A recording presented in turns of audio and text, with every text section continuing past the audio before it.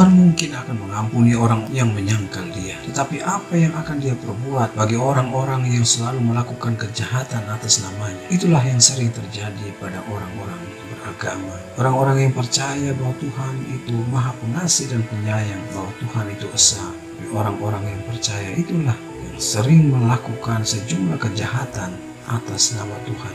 Seorang filsuf dan penulis Prancis, Voltaire, mengatakan, agama yang disalahpahami adalah demam yang berakhir dengan kegilaan. Nah itu mungkin yang bisa terjadi di lingkup kehidupan kita. Ada kelompok tertentu yang merasa bahwa di luar agamanya adalah orang-orang yang tidak pantas untuk hidup berdampingan. Tuhan dikunci dalam kegilaan beragama. Ada kata yang menarik dari seorang Van Gogh. Dia ini adalah seorang pelukis. Ketika saya merasa membutuhkan agama, saya akan keluar kepada malam lalu melukis bintang. Sebuah pukulan telah bagi cara beragama kita.